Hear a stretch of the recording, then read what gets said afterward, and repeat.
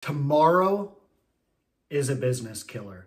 Hi, this is Arlo Nugent with Blue Chip Realty Group in association with EXP. Everybody wants to put things off till tomorrow. I'll do it tomorrow. I'll do it tomorrow. That's a business killer. But hey, we're in the end of December. Chances are you didn't have the year that you expected, but you're optimistic for next year. You're writing down your goals. Okay, with goals, they should be specific, measurable, and actionable. We all know that.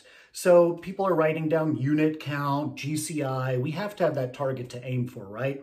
Well, if you've ever read Atomic Habits by James Clear, it is very specific that it's the small habits that make the biggest change downrange. That's what this video is all about. So instead of just thinking, oh, this is what I'm going to do over the next 12 months, this is what I'm going to do over this period of time, all your business plan needs to be is how can you win the day?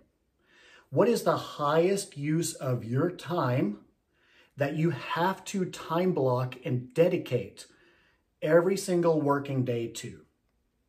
That's it. That's it. Just win the day. You don't have to win the month. You don't have to win the year.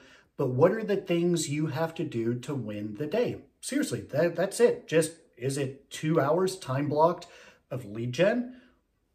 What is it tomorrow? Is it reaching out to your database?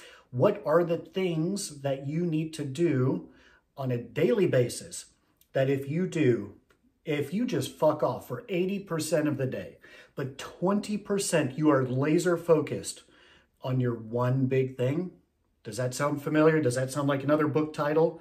The one thing? Focus on that. There's a reason that so many of these super intellectual people are writing books about this topic. It's no different in our industry. It's, it's exactly the same.